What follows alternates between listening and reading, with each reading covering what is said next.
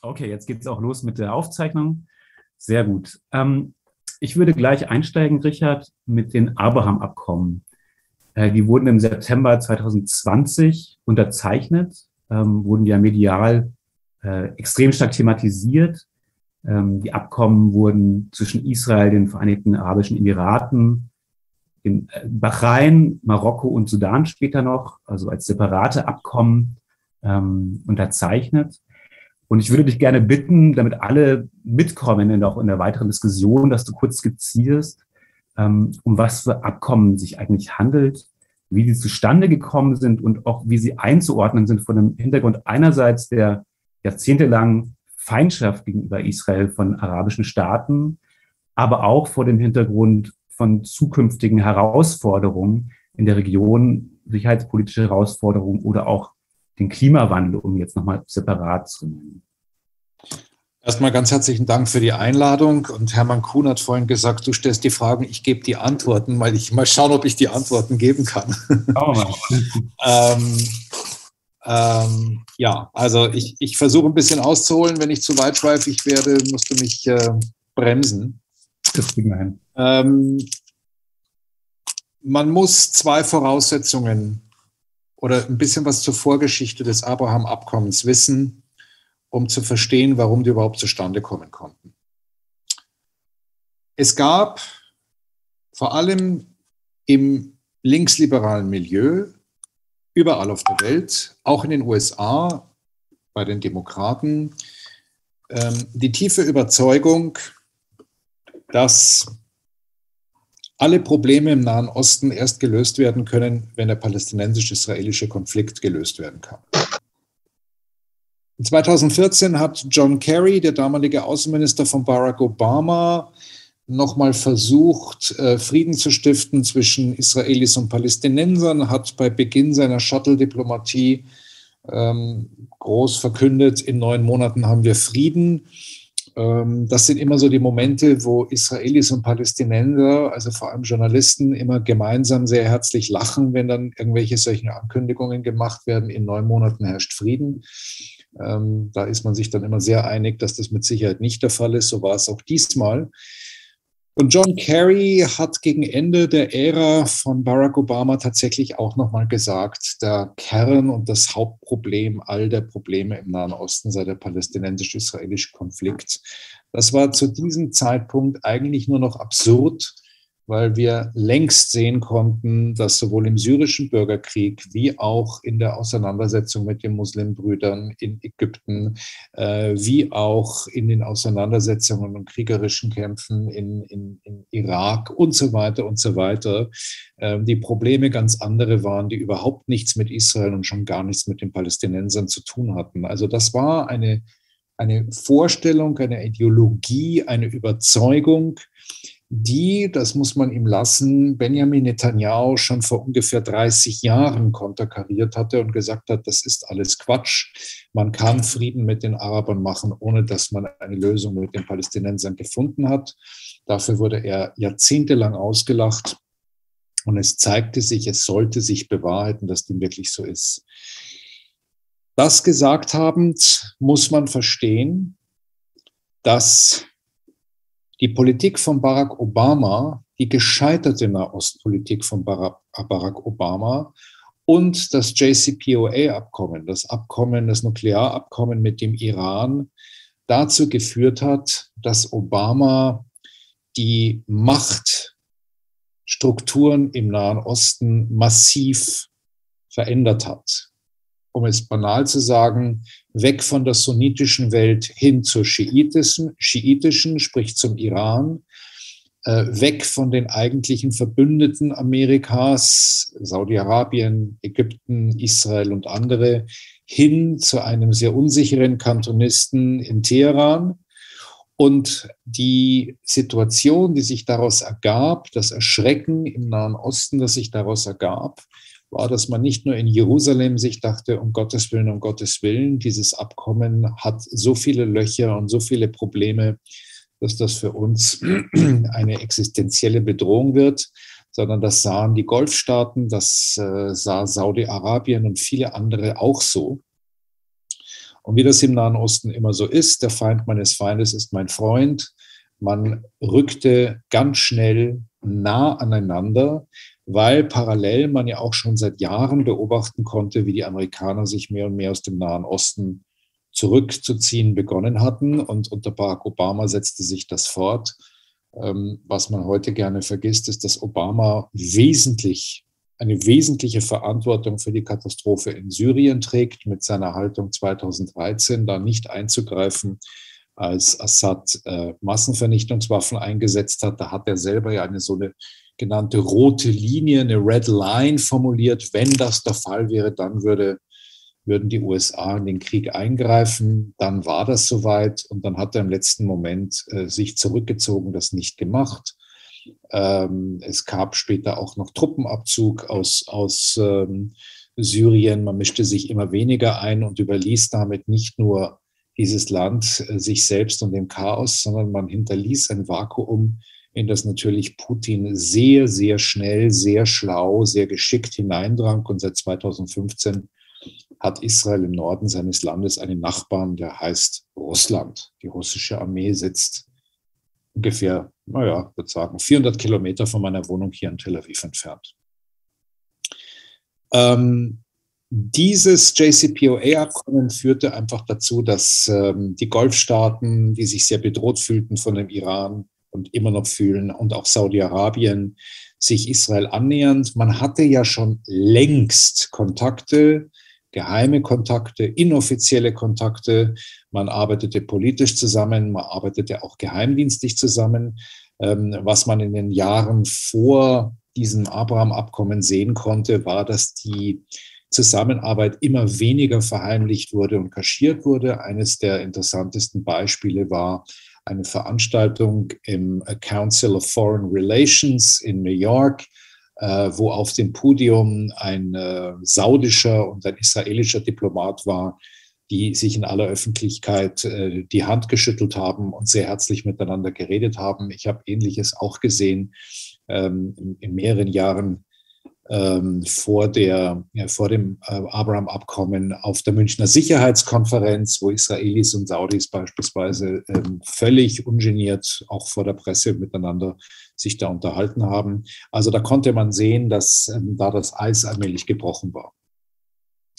Ähm, das Ergebnis eben der, äh, des, von, das Ergebnis eben dieses Abkommens, dieses Nuklearabkommens mit, den, mit dem Iran, dass zwei wesentliche Faktoren, die für die Bedrohung im Nahen Osten und für die Bedrohung ähm, all dieser Staaten, die jetzt da zusammenarbeiten, äh, bedeutend war, war, dass das Nuklearabkommen komplett außen vor ließ, die Entwicklung des ähm, Raketensystems äh, der Iraner, und dass man eingefrorene Konten freigegeben hatte, womit äh, Teheran seine sogenannten Proxies, ob es die Hisbollah im Norden Israels war oder Hamas und den islamischen Dschihad im Süden, in Gaza oder in Jemen oder sonst irgendwo, ähm, auch im Irak gibt es eine ganze Reihe von äh, schiitischen Milizen, äh, die den Leuten dort das Leben schwer machen. Mittlerweile wird versucht, der Iran seit einigen Jahren auch in Syrien neue schiitische Milizen neben der Hisbollah aufzubauen. Und da flossen dann die Gelder und diese Gelder gingen dann nicht in die Armut der Bevölkerung in Iran, sondern die gingen dorthin und bedrohte auch die innere Stabilität der arabischen Länder. Und da sahen sich natürlich vor allem die Golfstaaten und auch Saudi-Arabien da massiv bedroht. Also man begann eigentlich miteinander zusammenzuarbeiten. Und angesichts der sich verändernden geopolitischen Situation, also sprich, der Iran wird bedeutungsvoller und mächtiger, begann den sogenannten schiitischen Halbmond zu bauen. Es gab also, es gibt so zwei Zangenbewegungen, äh, die man schiitischen Halbmond nennt. Das eine ist äh, von Teheran über Irak, Syrien bis nach Libanon mit der Hezbollah. Und das andere ist vom äh, Teheran hinüber über den Sudan bis hin nach Gaza. Also zwei solche sogenannte Halbmonde, um ähm, einerseits Israel in die Zange zu nehmen, andererseits natürlich auch das Einflussgebiet in der sunnitischen Welt immer weiter auszubauen. Ähm, angesichts dieser Bedrohung, dieser geopolitischen Veränderung, angesichts der Tatsache, dass die Amerikaner sich zunehmend aus dem Nahen Osten zurückgezogen haben und vor allem, weil die Amerikaner auch unter Barack Obama ähm, einen politisch gigantischen Fehler sich leisteten, der einige Jahre zuvor geschehen war, veränderte sich äh, quasi das Klima gegen die Palästinenser. Da komme ich gleich darauf zurück. Der große Fehler war, dass die USA unter Obama, als ähm, die Demonstrationen am Tahrir-Platz in Kairo begannen, ihren wichtigsten, strategisch wichtigsten Verbündeten neben Israel, nämlich äh, Hosni Mubarak, den ägyptischen Präsidenten, innerhalb von Sekunden fallen ließen. Und auch dann, als es zugegeben freie Wahlen in Ägypten gegeben hat, den neuen Präsidenten, den Muslimbruder Mursi, sofort herzlich sozusagen begrüßt und umarmt haben, weil Obama tatsächlich den uralten Fehler machte, den viele machen, dass sie glauben, wenn jemand demokratisch gewählt ist, dann ist das auch alles schön und gut. Demzufolge wäre es auch schön und gut gewesen, dass Adolf Hitler gewählt wurde, weil er wurde ja demokratisch gewählt. Also diese, diese Fehlhaltung oder Fehleinstellung zu glauben, Demokratie ist, allein wenn jemand demokratisch gewählt ist, ist wirklich ein Fehler, den wir in der Geschichte immer und immer wieder sehen. Äh, Obama hat sich darauf eingelassen und als er Mubarak als er gestürzt wurde, ähm, wirklich innerhalb von Sekunden hat fallen lassen. Das wurde sehr genau wahrgenommen, vor allem nicht in Israel, da gibt es freie Wahlen, da kümmert man sich nicht darum, aber das wurde vor allem wahrgenommen in Riyadh, das wurde wahrgenommen in, in, in anderen Ländern, ähm, die mit den Amerikanern eng zusammenarbeiten. Und da fragte man sich nicht ganz zu Unrecht, wie sehr können wir uns eigentlich noch auf die Amerikaner als Alliierte verlassen aus diesem Blickwinkel heraus begann man sich immer mehr für die Israelis zu interessieren, auch öffentlich zu interessieren, weil man einerseits wusste, das ist hier die stärkste Armee, die allein ist in der Lage, tatsächlich vielleicht uns zu helfen, gemeinsam trotzdem gegen die Bedrohung äh, des Iran vorzugehen. Das war das eine. Das andere war aber auch, dass man den Weg über Jerusalem nach ähm, Washington suchte und das war auch mehrfach der Fall. Das war noch unter Netanyahu beispielsweise auch der Fall, als die Saudis den Journalisten ähm, Jamal Khashoggi ähm, in ihrem Konsulat in Istanbul äh, ermordeten und dann eben plötzlich der Kontakt da mit den Saudis immer schlechter wurde und Biden danach ja eigentlich den Kontakt fast komplett abbrechen wollte da sind die Israelis immer wieder vorstellig geworden und gesagt, ja, ja, das ist zwar alles ganz furchtbar, aber ähm, schiebt mal dieses Problem beiseite, weil wir brauchen die Saudis und die Saudis geht gar nichts.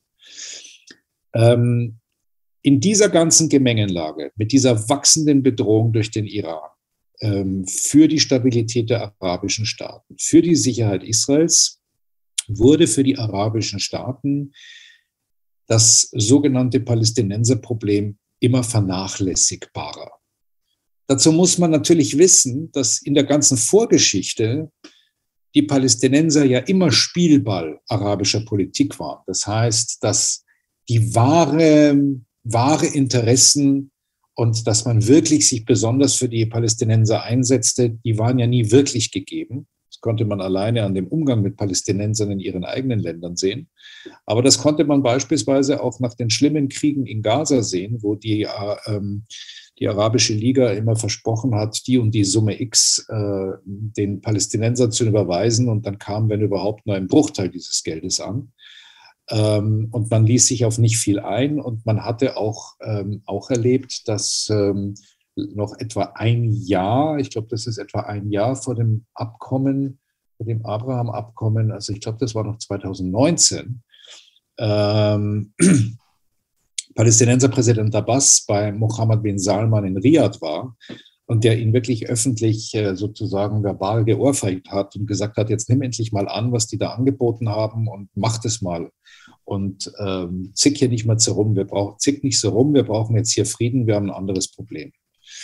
Also da merkte man schon auch, ähm, dass ähm, man die Geduld mit den Palästinensern verlor, vor allem auch, weil die Palästinenser sich selber Stichwort BDS, ja ursprünglich eine, eine palästinensische Erfindung, sich selber so ein bisschen ins eigene Knie geschossen hatten, weil sie jegliche Kooperation mit den Israelis ja verweigerten und den Teilen immer noch verweigern und somit überhaupt nichts Konstruktives mehr entstehen konnte, außer Maximalforderungen und die wurden natürlich von israelischer Seite nie erhört. So. Und dann kommt ein amerikanischer Präsident, den wir, ich glaube, das kann ich hier für alle sagen, sicher nicht ähm, besonders toll fanden, alle miteinander und im Gegenteil. Und äh, wir uns wahrscheinlich auch im Moment sehr freuen dürfen, dass angesichts der Ukraine-Krise dieser Präsident gerade nichts zu sagen hat. Was in zwei Jahren ist, werden wir sehen. Er hat aber etwas gemacht, was ganz interessant war und was vielleicht das auch gerade aus der Tatsache heraus, dass er kein besonders schlauer Politiker ist, überhaupt nur möglich war, ähm, dass er nämlich sehr naiv gemeint hat, er macht jetzt hier irgendwie so einen Geschäftsstil. Und hat die Staaten, die heute in diesen Abraham-Abkommen dabei sind, geködert mit Versprechungen, wirtschaftlichen und politischen Versprechungen, um ähm, eine neue Situation herzustellen. Also, den äh, Vereinigten Arabischen Emiraten wurde versprochen, dass sie F-35-Bomber, die sogenannten Stealth-Bomber, kaufen können. Dem Sudan wurde versprochen, dass man sie von der Liste der Länder herunternimmt, die Terror finanzieren. Äh, Marokko wurde äh, gegenüber wurde anerkannt, dass Marokko sozusagen das Sagen in der Westsahara hat. Äh, und bei Bahrain äh, gab man gewisse Garantien, was die Bedrohung durch den Iran betraf. Und ähm, der Versuch der war, man versucht, ein, eine Zusammenarbeit herzustellen auf einer wirtschaftlichen Ebene. Man nennt das gar nicht Friedensvertrag oder sonst irgendwas, sondern man geht auf dieses Prinzip, wir haben jetzt in den letzten Wochen sehr viel darüber gehört, dass das ja im Prinzip gescheitert ist, sozusagen Wandel durch Handel. Diese ganzen Staaten sind darauf eingestiegen und ähm, innerhalb des Abraham-Abkommens ähm, sind die Beziehungen mit den Vereinigten Arabischen Emiraten und Bahrain am allerwichtigsten, vor allem wirtschaftlich, aber auch strategisch. Aber da kommen wir vielleicht noch darauf zu sprechen. Jetzt mache ich mal wieder einen Punkt. Perfekt, vielen Dank für die kurze, lange Antwort sozusagen. Kurze, lange Antwort, ja. Ähm, ich könnte du ganz kurz nochmal skizzieren, was denn ganz konkret die Inhalte dieser, dieser Abkommen sind, weil sich auch die Frage stellt, ähm, wie sich diese Abkommen beispielsweise auf die israelische Bevölkerung auswirken. Ne? Also was zum Beispiel haben die für Vorteile? Es war mal wieder zu lesen, dass jetzt irgendwelche Flüge zum Beispiel in die Emirate fliegen und so weiter. Kannst du da nochmal einen Einblick geben, auch ob sich diese Abkommen zum Teil auch untereinander unterscheiden? Ne? Oder kann man sagen, das ist eigentlich alles ein Topf sozusagen? Ähm, es ist von der Idee her ein Topf. Äh, die, die, das Tempo bewegt sich unterschiedlich, vor allem mit dem Sudan, weil das Sudan ja innenpolitisch ja auch noch sehr instabil ist und man noch nicht genau weiß, wie das weitergeht. Ähm, mit Marokko beispielsweise gab es immer schon sehr enge, extrem herzliche Kontakte obwohl man keine äh, diplomatischen Beziehungen hatte. Es gab auch gemeinsame Geheimdienstoperationen. Ähm, das ist ja alles bekannt. Man hatte auch mit den Emiraten schon längst Kontakt, Bahrain etwas weniger früher. Aber prinzipiell ging es erst einmal um eine Form von wirtschaftlicher Zusammenarbeit, wirtschaftlicher Kooperation.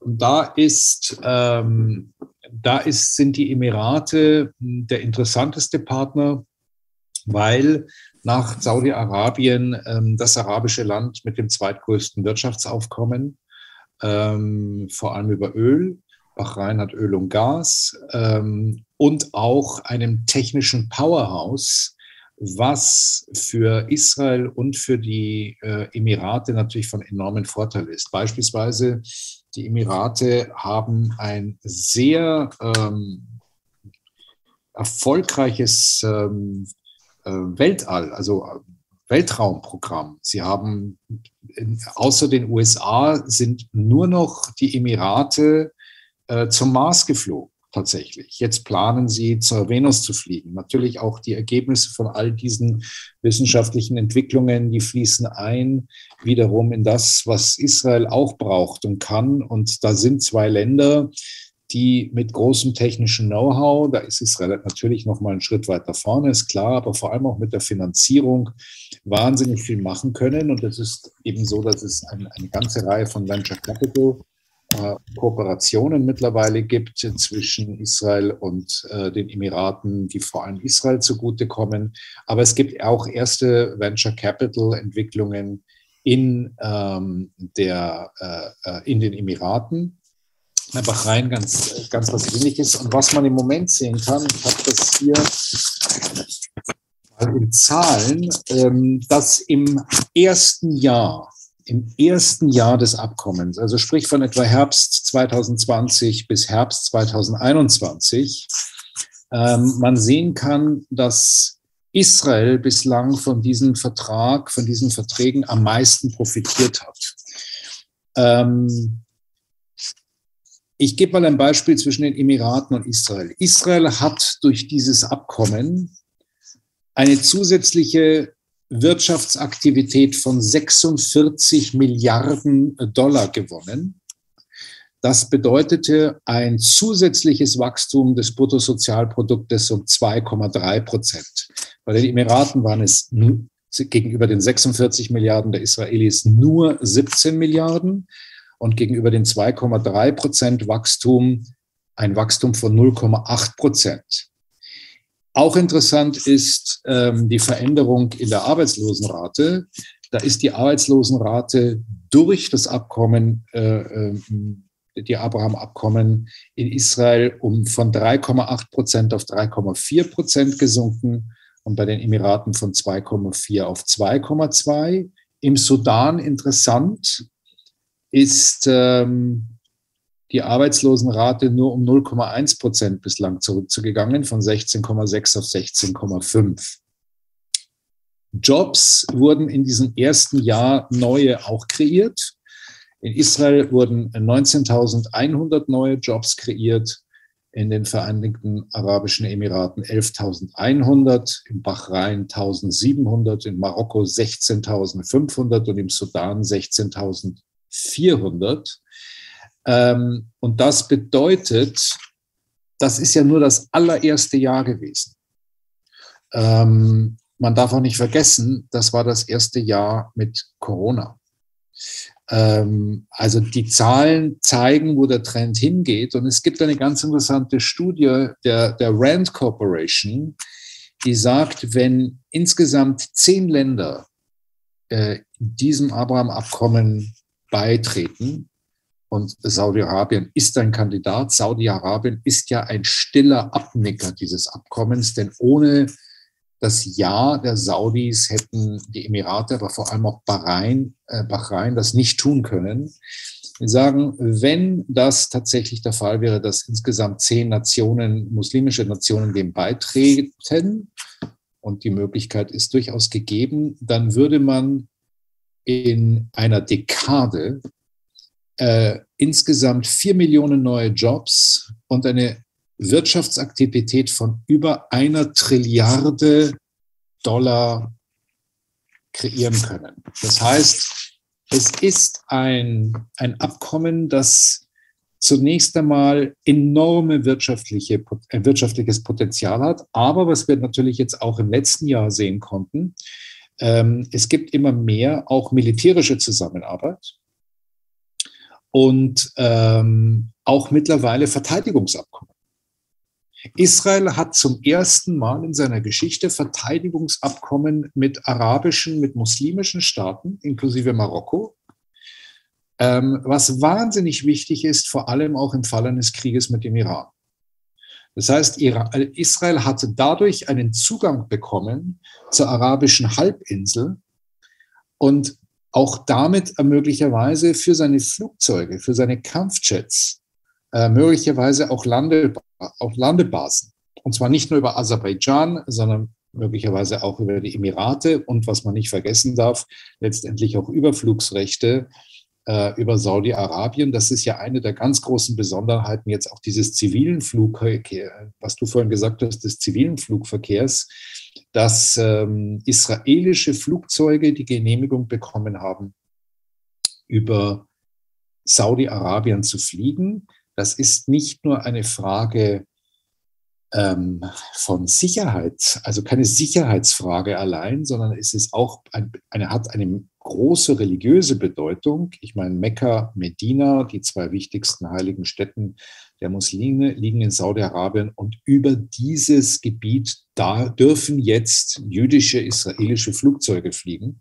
Das ist besonders. Ähm, das hatte übrigens auch den Vorteil insgesamt für den zivilen Luftverkehr, weil jetzt Israel beispielsweise nach Asien über Saudi fliegen kann, verspart sich viele Umwege, gilt aber auch beispielsweise für die Indian Airlines und lauter so andere, die jetzt alle diesen Weg wählen können, wenn sie dann nach Tel Aviv oder sonst wohin wollen, dass sie diese Abkürzung über äh, Saudi und Israel nehmen können. Also da bewegen wir uns in einem Bereich von einer gewissen Normalität und was wir jetzt in den letzten Monaten gesehen haben, äh, vor allem durch die neue Regierung Bennett, ist das äh, zweierlei, dass diese Beziehungen, die jetzt geknüpft wurden, zustande gekommen durch Donald Trump und Benjamin Netanyahu. Es sind die Urheber dieses Abkommens, das muss man ihnen lassen, das haben sie geschafft, dass diese Beziehungen auch halten, wenn die Regierung in Israel wechselt, dass also die Beziehungen nicht zwischen Regierungen ist, sondern tatsächlich zwischen Staaten dass es die, diese Staaten nicht interessiert, wer in Jerusalem das Sagen hat, sondern mit dem geht man um. Und was man auch gesehen hat, und das ist auch sehr besonders, dass die persönlichen Beziehungen ähm, zwischen Bennett und Außenminister Yair Lapid mit einigen äh, ihrer arabischen, ihrer arabischen äh, äh, Kollegen äh, und Partner wirklich mittlerweile so herzlich geworden äh, sind, dass das, wie wir immer wissen, auch in der Politik von ganz besonderer Bedeutung ist. Wenn man sich dann also auch noch zwischenmenschlich einfach mag und miteinander gut umgehen kann, ist das natürlich für die staatlichen Beziehungen natürlich ein riesiger Vorteil. Ja. Ähm, du hattest vorhin mehrere Statistiken erwähnt in Bezug auf Wirtschaft und Jobs. Mich würde nochmal interessieren, ob es eigentlich Statistiken gibt, äh, wie viele Leute, ähm, normale Leute aus Israel beispielsweise nach Marokko oder in die UAE nach den Abkommen gekommen sind, noch umgekehrt, ne? weil die, die Abkommen haben ja auch das, einfach die, das Potenzial zu massiven kulturellem Austausch zu führen. Ne? Du hast BDS genannt, das ist ja eigentlich im Prinzip die Negation von BDS, ist ja im Prinzip dieses, sind diese Abkommen.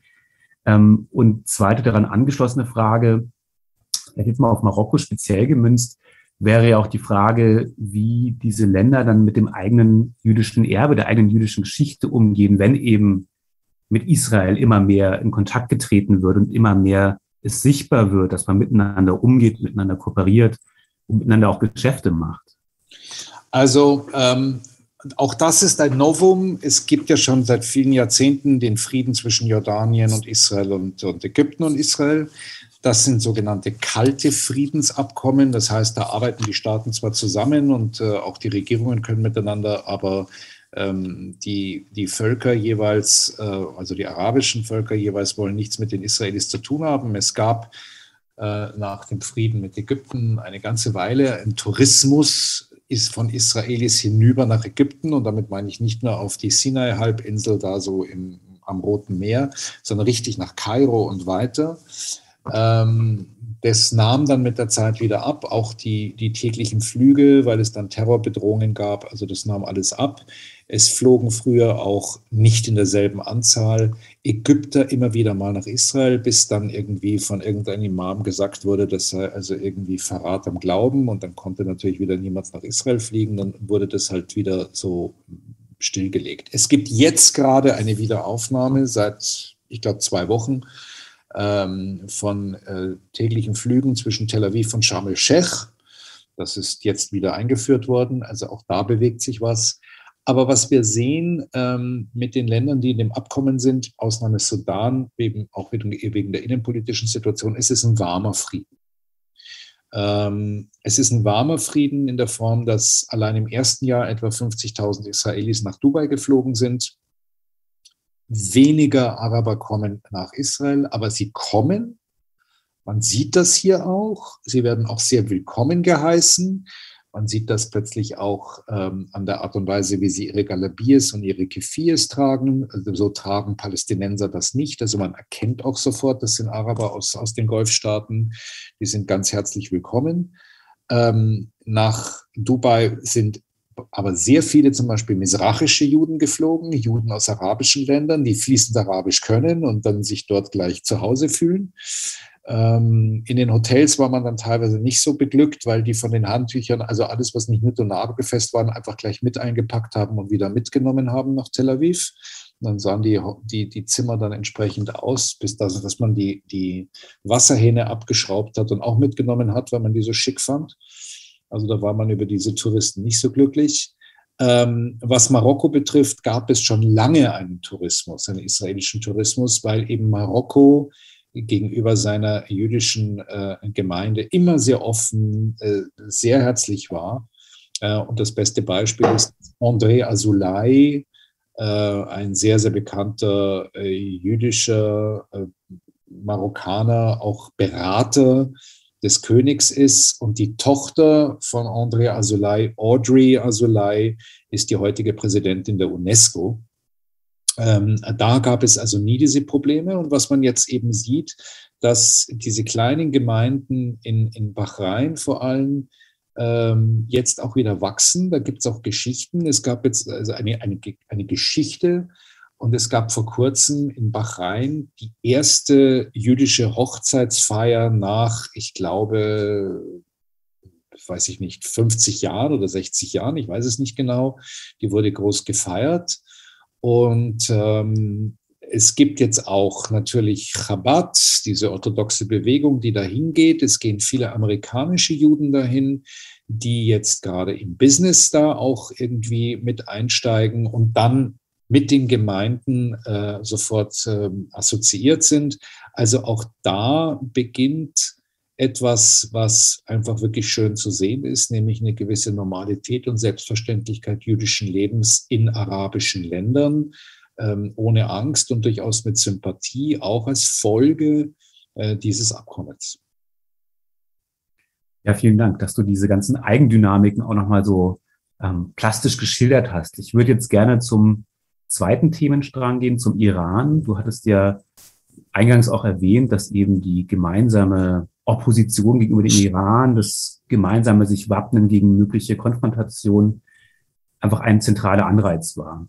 Kannst du noch mal sagen, was ist der Stand der Dinge gerade in Bezug auf das iranische Atomprogramm und in Bezug auf die Aushandlung eines neuen Iran-Abkommens?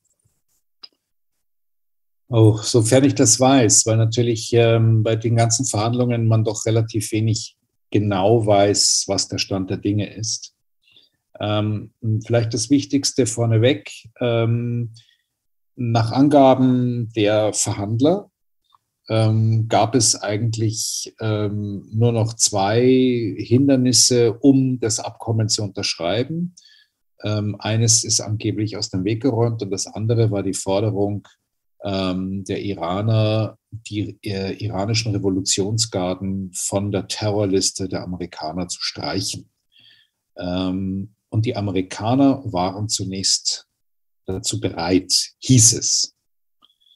Ähm, was mich nicht wundern würde, weil äh, der Sonderbeauftragte für das ganze Iran-Thema, Rob Maley, äh, der schon unter Barack Obama mitverantwortlich war für das Ergebnis von JCPOA, ähm, der ist extrem pro-iranisch, dessen ganze politische Ideologie ist, die sunnitischen Staaten, die alle so un unsichere Kantonisten sind, irgendwie ad acta zu legen und den Iran quasi zum neuen Partner der Amerikaner zu machen, in völliger Verkennung, in völliger Verkennung der Realitäten vor Ort. Ähm, der hat jetzt wieder das Sagen und ist da den Iranern ganz offensichtlich in vielen Dingen sehr weit entgegengekommen. Die Israelis haben das schon sehr früh und die arabischen Partner auch ähm, in Washington Zeta und Mordio geschrien. Und als das jetzt bekannt wurde durch einen Scoop des ähm, israelischen Journalisten Barak Ravid, dass äh, die Amerikaner offensichtlich die Revolutionsgarden von der Terrorliste streichen wollen, hat die Regierung in Jerusalem einfach wirklich ganz massiv angefangen, Lobbyarbeit zu machen dagegen. Und jetzt hat vor etwa vor einer knappen Woche Joe Biden auch gesagt, man wird ähm, sie nicht von der Terrorliste streichen. Und nun scheint im Augenblick das Ganze zu stocken und es geht nicht weiter. Unter anderem aber auch, da sind wir schon beim Ukraine-Krieg, weil die Russen darauf bestanden haben, dass im Falle eines Abkommens, wenn das Abkommen unterschrieben, unterschrieben wird, ähm, die Handelsbeziehungen, die dann Russland mit Iran hat, nicht unter die aktuellen Sanktionen fallen.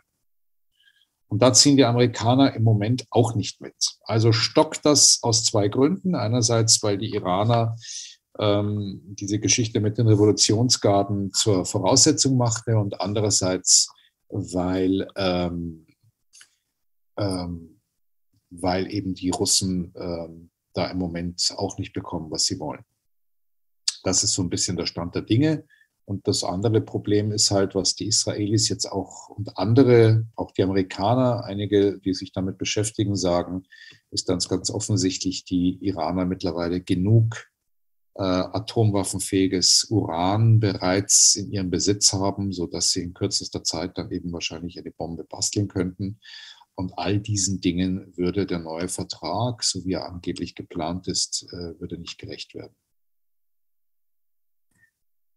Du hattest äh, kurz die, die Lobbyarbeit äh, Jerusalems geschildert, als es darum ging, die Revolutionsgarden wieder in den Blick zu nehmen. Könntest du noch mal ein bisschen allgemeiner skizzieren, wie in Israel auf ähm, eine neue, ähm, ein neues Abkommen mit dem Iran geblickt wird in der Knesset, wie, wie da die Diskussionen laufen, ähm, dass wir da so ein bisschen so einen Einblick bekommen, wie die, wie die politische Stimmungslage ist und auch gerade wie man ähm, ja auf die USA schaut und auch auf Europa. Also Europa spielt gar keine Rolle. Fangen wir mal mit dem leichtesten an. Die Europäer sind völlig außen vor. Ähm, die interessieren nicht. Ähm, und im Gegenteil, ähm, die Israelis und nicht nur die Israelis äh, schauen sehr genau zu, wie sich die Europäer jetzt gerade im Ukraine-Krieg verhalten oder auch nicht verhalten. Und da ist völlig klar, im Zweifelsfall kann man auf die Europäer nicht bauen und nicht damit rechnen, dass die in irgendeiner Form zur Hilfe kommen. Es geht dann, wenn überhaupt, geht es nur um die USA. Aber ähm, was die ähm, USA betrifft, ich habe ja schon gesagt, die haben ja schon vor langer Zeit, vor etwa 20 Jahren, angefangen, langsam aus dem Nahen Osten zurückzuziehen. Aus dieser Entwicklung heraus kam ja die Annäherungsbewegung der, all der Staaten, ähm, die sich gleichermaßen vom Iran bedroht fühlen.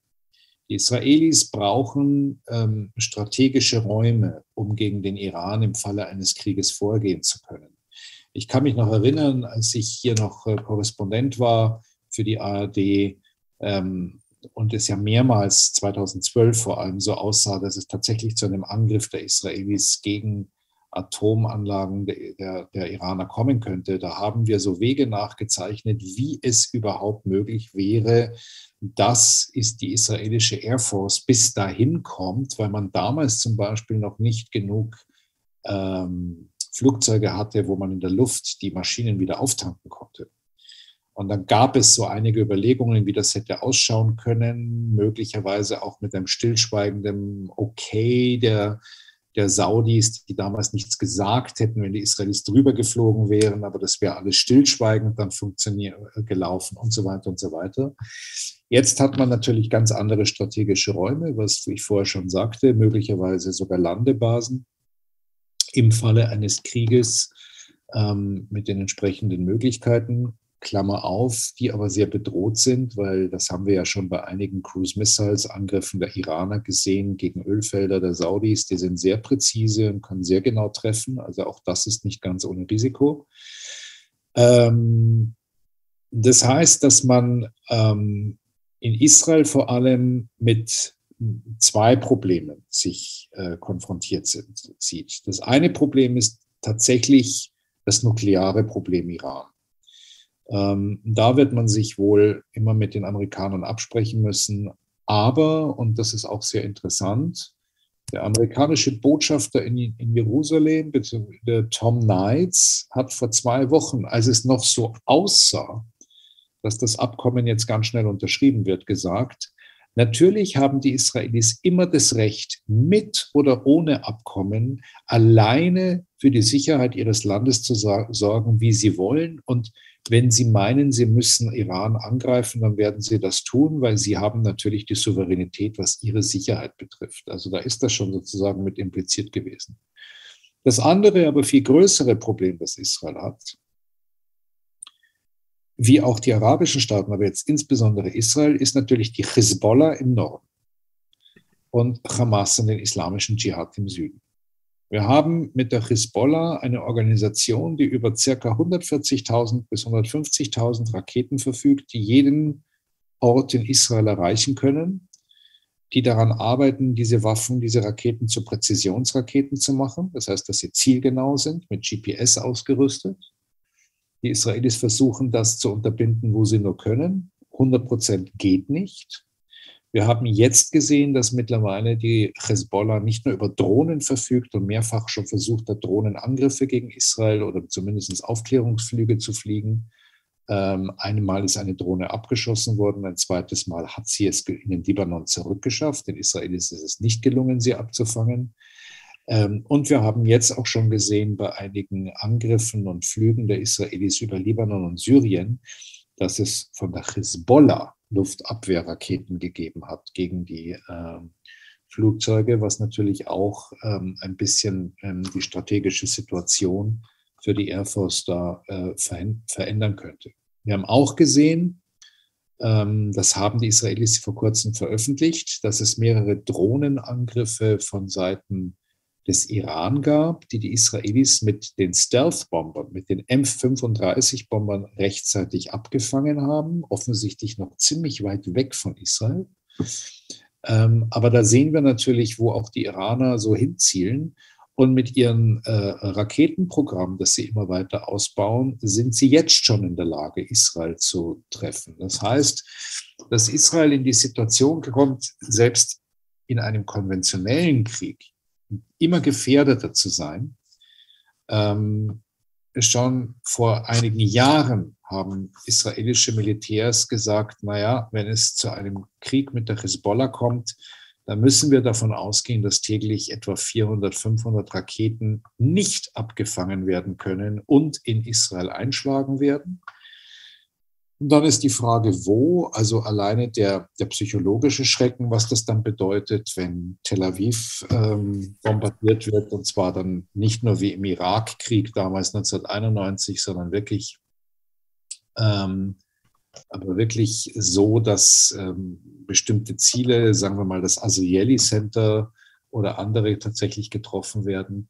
Aber mehr noch ist dann vor allem auch die Gefahr, dass ähm, man strategische Punkte treffen kann. Also man stelle sich nur mal vor, dass es der Hezbollah gelänge, die, den einen internationalen Flughafen und die zwei äh, äh, Meereshäfen zu treffen, dann ist Israel von der Außenwelt abgeschnitten. Ähm, wenn es der Hezbollah gelänge, Militärflughäfen, von denen aus die F-15 und F-16 starten, die Landepisten zu bombardieren und so weiter und so weiter. Ähm, diese Gefahr ist bei so einem Krieg extrem hoch und bedeutet natürlich im umgekehrt, in der umgekehrten Konsequenz, dass die Israelis, wenn es zu einem solchen Krieg käme, mit einer unglaublichen Heftigkeit und Brutalität im Libanon gegen die Raketen und gegen die Hisbollah vorgehen muss. Ähm, was das dann bedeutet äh, in der Zahl der zivilen Opfer im Libanon, kann man sich nur ausmalen. Und es gab vor einigen Jahren noch unter Netanyahu eine offizielle Veränderung der Doktrin, übrigens auch auf der Münchner Sicherheitskonferenz, als er so ein Stück von einer Drohne, einer iranischen Drohne dabei hatte und das dann so ganz ähm, so sozusagen so PR-mäßig, schauspielermäßig da so hinhielt, um das zu zeigen. Und da sagte Netanyahu ähm, etwas, was viele Strategen schon lange gefordert haben. Er sagte, wenn ihr uns das nächste Mal angreifen, angreift, greifen wir euer Territorium an. Denn was die, was die Iraner ja bislang immer sehr, sehr erfolgreich gemacht haben, und darum haben sie ihre Stellvertreter, sie lassen die Stellvertreter die Kriege führen. Die Israelis bombardieren dann Länder, die, wo diese Stellvertreter sind, aber der Iran ist immer heil geblieben, da ist nie was passiert. Und die Israelis haben den Spieß umgedreht und gesagt, wenn ihr unser Territorium angreift, greifen wir euer Territorium an. Das heißt, ihr kommt nicht mehr ungeschoren davon.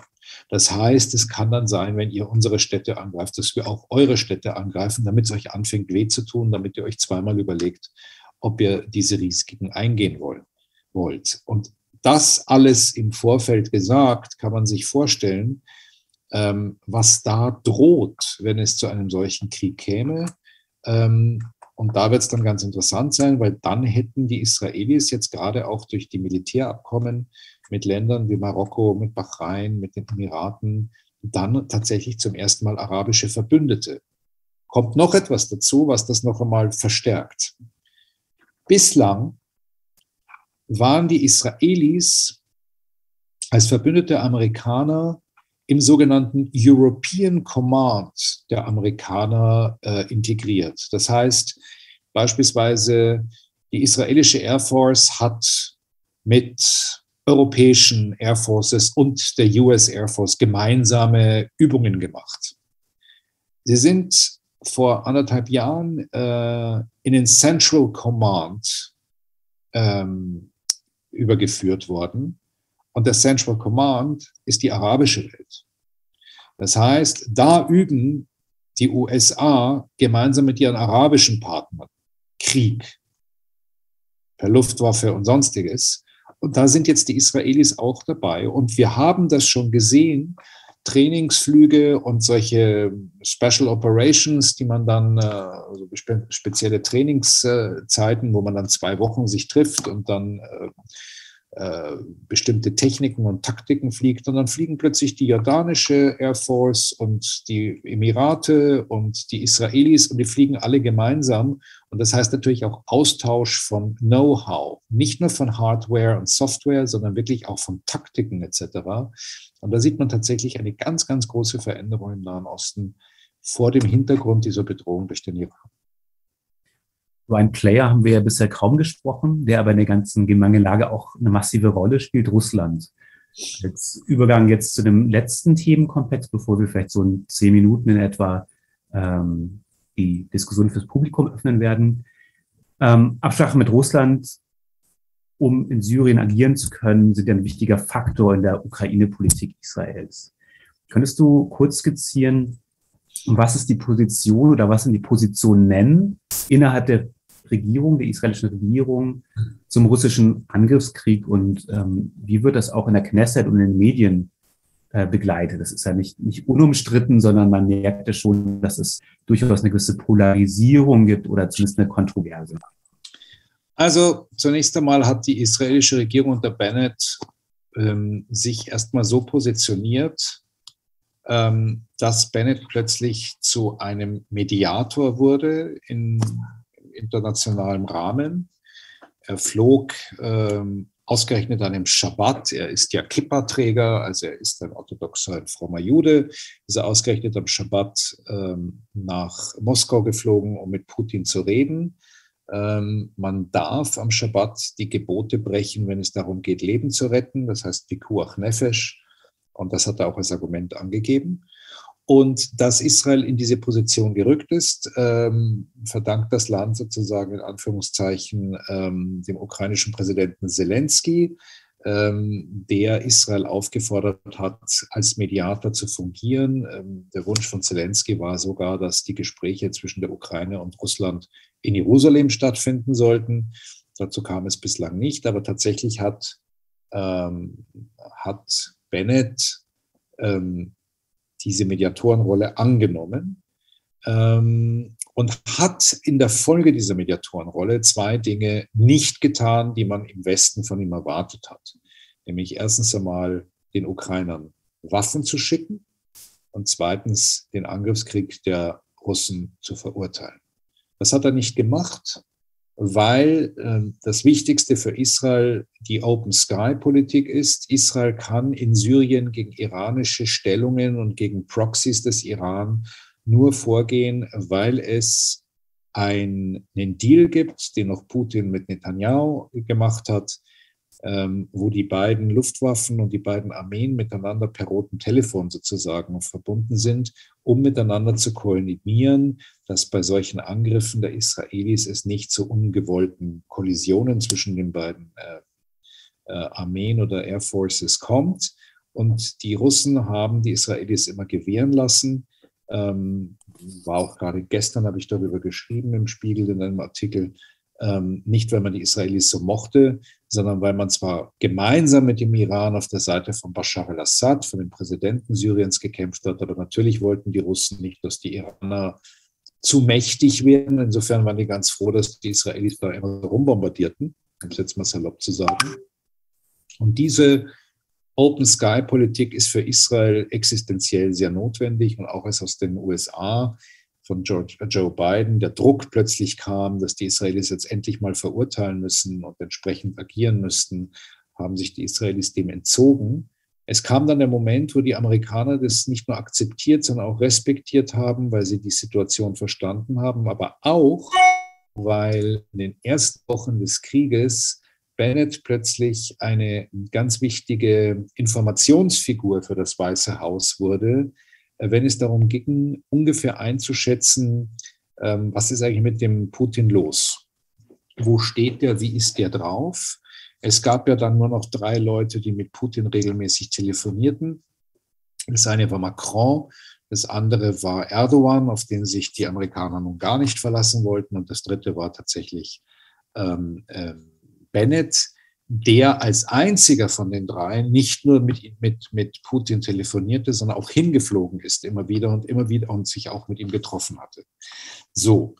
Ähm, bereits zu Beginn des Krieges gab es so ein bisschen die Good Cop und Bad Cop Aufteilung zwischen Außenminister Yair Lapid und, und äh, Bennett. Lapid hat sich öfters sehr kritisch über den Krieg geäußert, vorsichtig aber doch. Bennett hat gar nichts gesagt. Und nun kam es äh, in der vergangenen Woche zu einer Veränderung der israelischen Strategie. Ähm, die Israelis haben mit abgestimmt für einen Antrag, die äh, Russen aus dem UN-Menschenrechtsrat rauszuwerfen. Und Peter zum ersten Mal sehr deutlich über die schreckliche Invasion, die unrechtmäßige Invasion und das Abschlachten von Zivilisten geredet und das scharf verurteilt.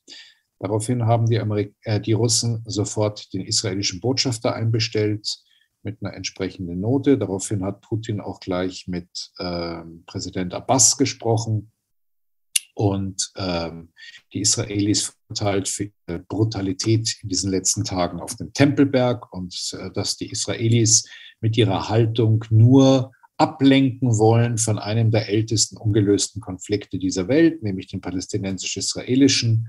Äh, und auch ähm, in einem Fernsehinterview mit dem israelischen Fernsehen hat der russische Botschafter sich geäußert und gesagt, nein, nein, wir sind noch Freunde, aber so geht es nicht und man erwarte eigentlich eine ausgewogenere Haltung.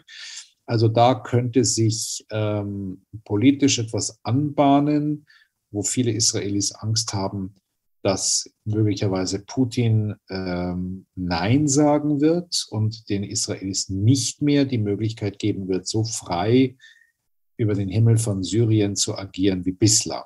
Allerdings, das ist auch eine, eine, eine extreme Veränderung. Ähm, Putin hat bereits aus Syrien Truppen abgezogen, um sie in der Ukraine einzusetzen. Er hat auch diese ganz berüchtigte Wagner-Gruppe abgezogen aus Syrien. Ähm, er hat auch einen Teil der Hezbollah rübergeholt. Ich weiß nicht, wie viele Kämpfer, es sollen nicht wahnsinnig viele sein, aber es ist symbolisch auch ganz interessant. Ähm, und in diese Positionen in Syrien dringen jetzt gerade iranische Truppen und iranische Befehlshaber ähm, was den Israelis natürlich auch erst einmal äh, Kopfzerbrechen bereitet, denn das ist jetzt nicht unmittelbar eine größere militärische Gefahr, aber es zeigt, dass der Einfluss des Iran in Syrien wächst. Die Iraner versuchen natürlich jetzt diese Absenz der Russen für sich auszunutzen, um endlich sich da wieder breit zu machen, so wie sie das eigentlich wollen, mindestens politisch. Und je länger der Krieg im, in der Ukraine dauert, ähm, desto mehr wird natürlich der Iran die Möglichkeit haben, sich da breit zu machen. Desto mehr aber auch im Umkehrschluss könnte es sein, dass die Israelis ihre Open Sky Politik weiter bekommen. Denn Putin könnte dann eventuell sich denken, naja, ich lasse die Israelis weiter agieren, weil ich will trotzdem nicht, dass die Iraner, wenn ich jetzt sozusagen weg bin, in Anführungszeichen, sich da zu weit äh, aus dem Fenster lehnen können. Mhm. Ähm, vielen Dank für die ausführlichen ähm, Analysen. Mhm. In Israel gibt es ja einfach einen extrem großen Anteil an irgendwie russischstämmigen Leuten, die äh, im Zuge der Auflösung der Sowjetunion rübergekommen sind. Wie ist denn da so das Stimmungsbild, ähm, was den Krieg betrifft und auch ähm, was die Aufnahme von Flüchtlingen aus der Ukraine betrifft? Da gab es ja auch mehrere Diskussionen. Und es gibt ja auch super viele Leute, die eben das Recht haben, über den normalen Weg eigentlich einzureisen, weil sie eben über einen jüdischen Background verfügen.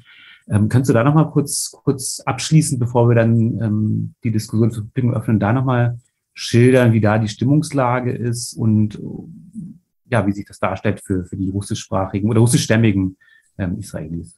Also in den 90er Jahren mit Glasnost und Perestroika durch Gorbatschow kamen ja ungefähr eine Million sowjetische Juden nach äh, Israel.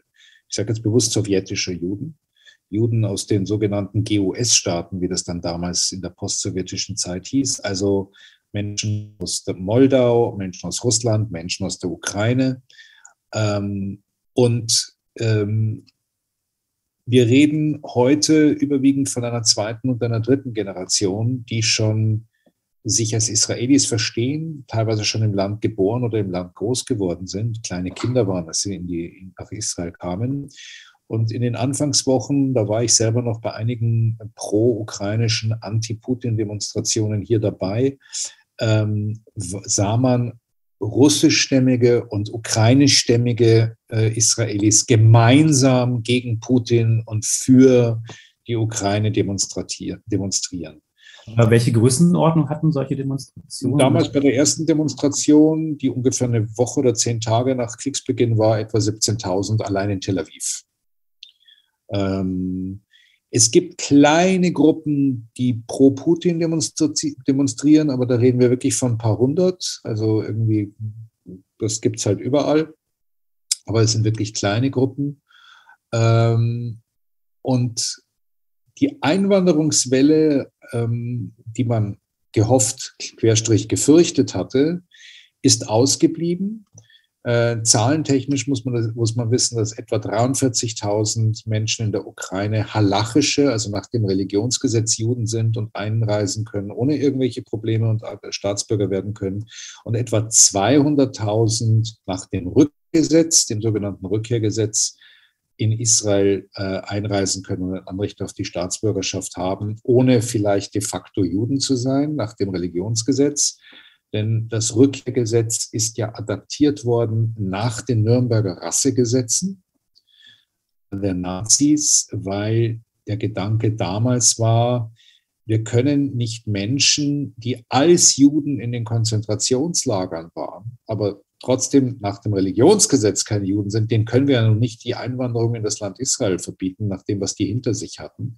Und somit ist das Rückkehrgesetz zum Beispiel gilt auch für Menschen, wie Max Czolek, der einen väterlichen Großvater hat, der Jude war und der natürlich halachisch überhaupt nicht jüdisch ist, aber weil er einen jüdischen Großelternteil hat, könnte auch ein Max Czolek hier in Israel sofort Staatsbürger werden. Und davon von solchen äh, Menschen, die dann vielleicht nicht halachisch-jüdisch sind, gibt es etwa 200.000. Ähm, es gab viel Aufregung um die Aufnahme von ähm, äh, nicht-jüdischen Flüchtlingen. Da gab es am Anfang äh, wirklich einen Skandal, weil ähm, es hieß, es dürfen nur ein paar Tausend kommen und die müssten jeweils 3000 Dollar hinterlegen als Garantie dafür, dass sie in einem Jahr wieder gehen.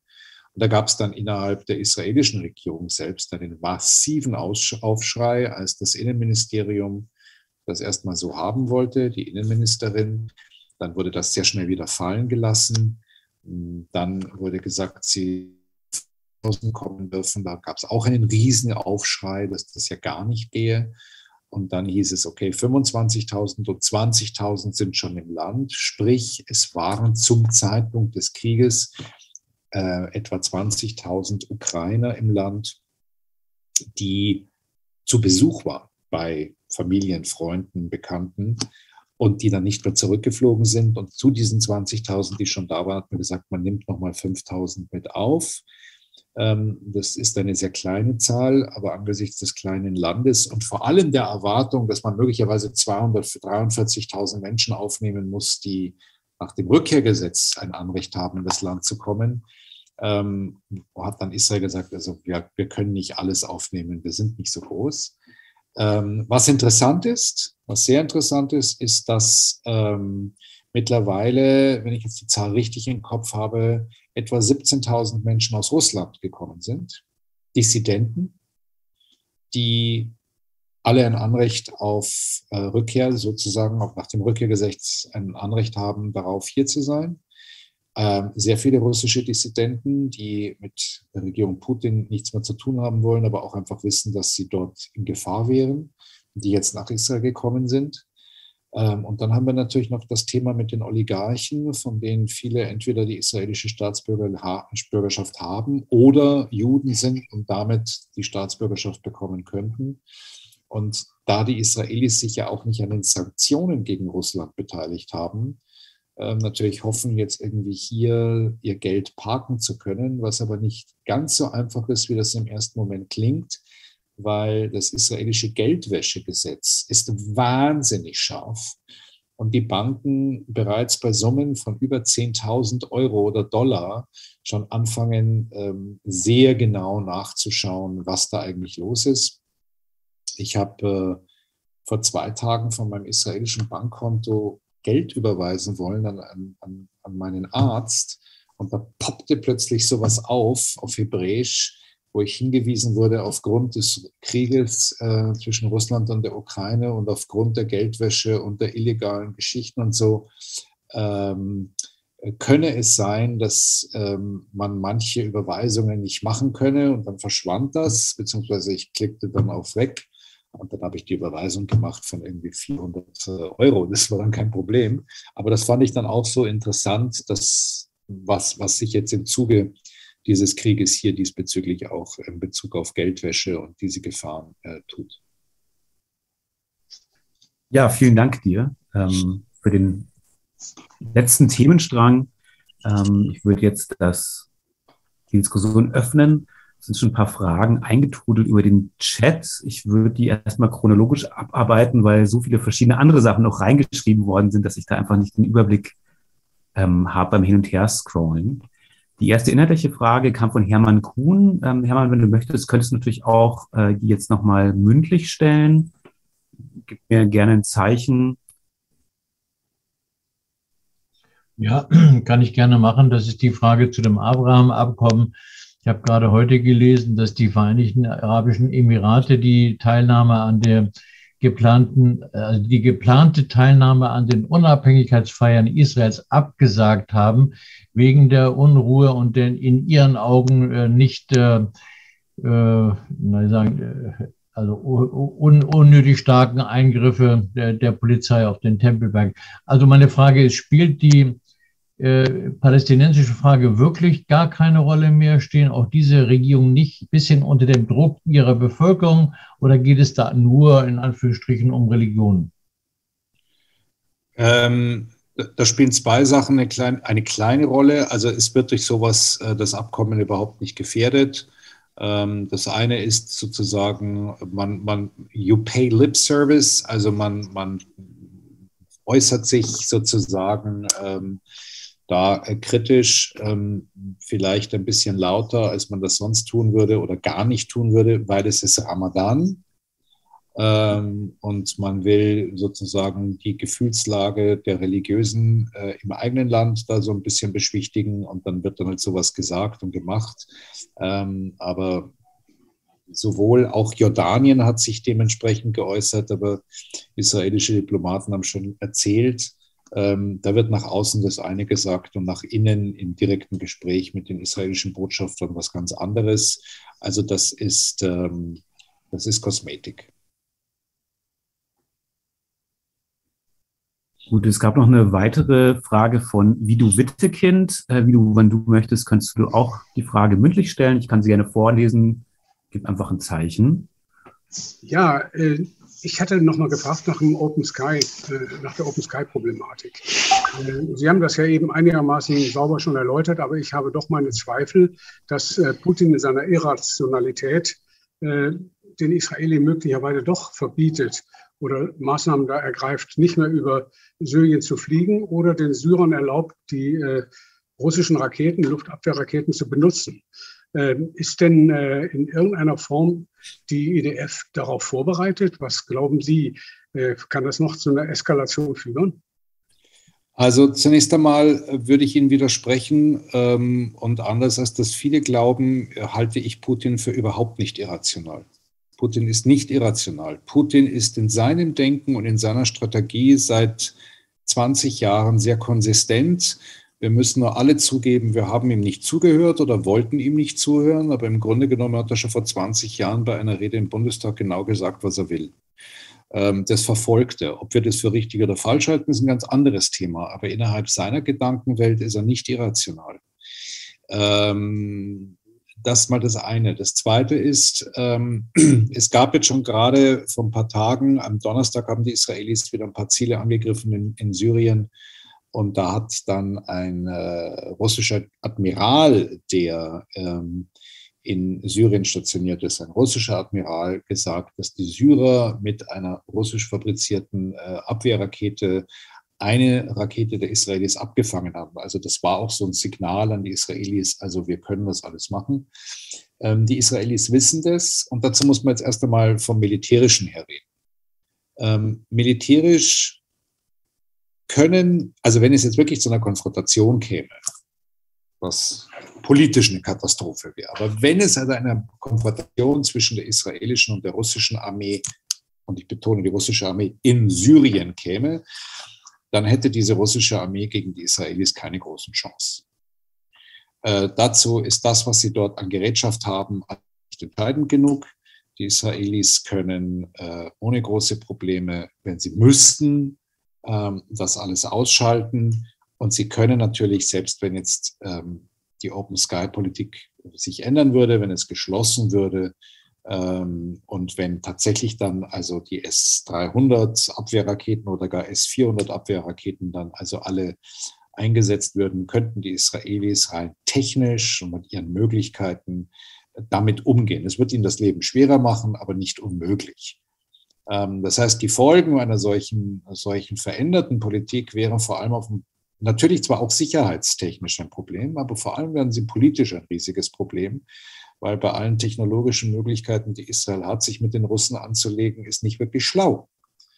Ähm, gleichzeitig, und das darf man auch nicht vergessen, das ist sozusagen die umgekehrte Seite, Putin weiß, dass der einzige Player, der ihm das Leben in Syrien schwer machen kann, die israelische Armee ist. Das heißt, als Putin mit Netanyahu diesen Deal machte, umgekehrt muss man sagen, eigentlich Netanyahu mit Putin, ähm, da war das nicht nur so, dass, der, dass, dass Putin den Israelis einen Gefallen tat, sondern die Israelis taten auch ihm einen Gefallen, indem sie ihm sagten, wir mischen uns nicht ein. Wir lassen dich da machen, was du willst. Ähm, weil er genau wusste, die Israelis können sagen, wir wollen euch da nicht haben, das verhindern wir. Ähm, und das haben die Israelis nicht gemacht. Also wenn sich die Politik Putins gegenüber Israel verändern würde, wird das in erster Linie ein politisches Problem, in zweiter Linie ein militärisches, weil klar, es würde dann schwieriger werden anzugreifen. Man kann angreifen, dann würde man jedes Mal einen politischen Eklat haben. Und bei diesen ganzen Auseinandersetzungen hätte der Iran größere Chancen, sich schneller breit zu machen als, als bislang in Syrien. Vielen, vielen Dank. Wir haben jetzt fast eine Punktlandung nach einer Stunde. Ich würde sagen, wer jetzt noch eine Frage stellen möchte, jetzt Last Chance to Dance sozusagen. Ich meine, Israel ist ja noch eine Stunde später, deswegen. Ja, bei uns, geht, das, bei uns, geht, ja jetzt, uns geht der Abend ja jetzt erst los. genau, dann hast du noch ein bisschen Auslauf ja, sozusagen. Ja, Gut, es scheint keine weiteren Fragen zu geben. Ach, da kam noch jetzt was. Eine Wortmeldung von Hermann Kuhn. Hermann, bitte nochmal. Ich würde gerne eine äh, abschließende zusammenfassende Frage stellen. Äh, was denken Sie durch die Entwicklung der äh, letzten ein, zwei Jahre, die Sie jetzt nochmal so detailliert geschildert haben, hat sich die Lage für Israel verbessert, verschlechtert oder ist sie nur anders, aber genauso schwierig wie immer? Hm, da muss ich rückfragen. Welche Lage? Naja, die, ich sage ganz allgemein die Sicherheitslage. Die, die Fähigkeit, sich äh, in der, äh, das Land äh, zu verteidigen und vielleicht auch noch ähm, dabei ähm, wirtschaftlich keinen Schaden jedenfalls zu nehmen. Ich muss die Frage in zwei Teilen versuchen zu beantworten.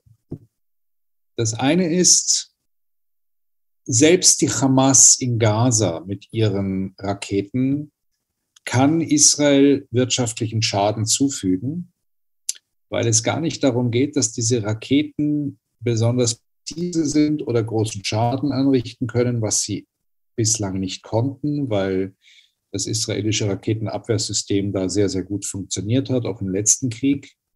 Aber wenn die Hamas weiter so aufrüstet, wie sie das in den letzten Jahren getan hat, und ich rede jetzt bewusst erstmal nur über die Hamas und nicht über die Hezbollah, die über ganz andere Raketen verfügt, dann kann sie natürlich mit wochenlangen Raketensalven ähm, das Land und das Funktionieren des Landes, den Alltag des Landes schon ziemlich lahmlegen.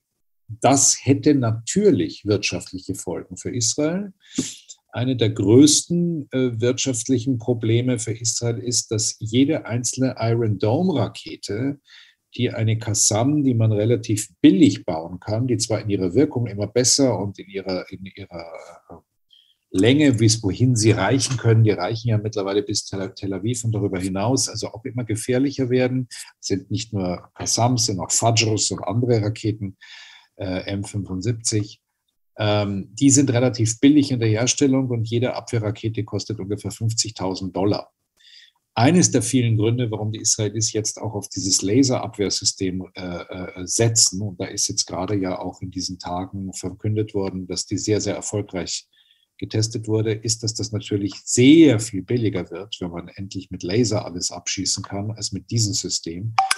Ähm, da kann man natürlich Israel wirtschaftlich schon sehr wehtun. Was, die, was die Hezbollah betrifft, das habe ich eingangs ja mal versucht zu erklären. Also wenn die mit ihren Raketen loslegen, wird es sehr unschön. Aber insgesamt ist Israel gerade auch durch die Beziehungen mit Bahrain und den Emiraten ein strategisch sehr wichtiger Schritt gelungen, weil Israel in seinem Einflussbereich, in seinem, seiner Sphäre immer stärker, immer wichtiger wird, sowohl wirtschaftlich wie geostrategisch. Die Türkei versucht sich gerade Israel anzunähern und auch den Emiraten, weil die Türkei begreift, hier wächst ein Powerhouse heran, wo man lieber mitmachen will, als dass man sich da außen vor hält. Ähm, sollte die Türkei sich dem anschließen tatsächlich, ähm, dann wäre das strategisch für Israel natürlich besser denn je. Das heißt, auf der einen Seite wächst ähm, die politische und wirtschaftliche und auch strategische Macht Israels. Auf der anderen Seite bleibt natürlich immer diese Gefahr, dass man dass den Alltag durch immer längere Kriege, selbst mit Raketen, die nicht so bedrohlich sind, ähm, sehr unterbinden kann und äh, also den, Alltag unterbinden kann. Und das ist natürlich dann immer auch ein, ein, ein finanzieller Schaden.